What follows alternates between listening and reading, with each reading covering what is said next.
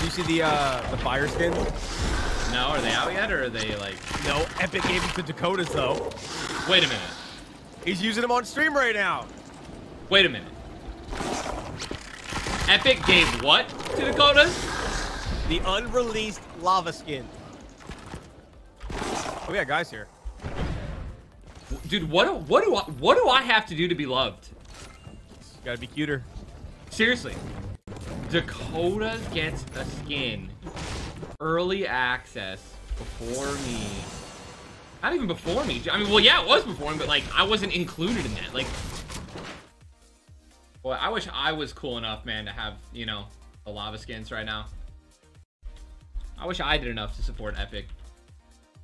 You got enough clout, dude. Guess not, man.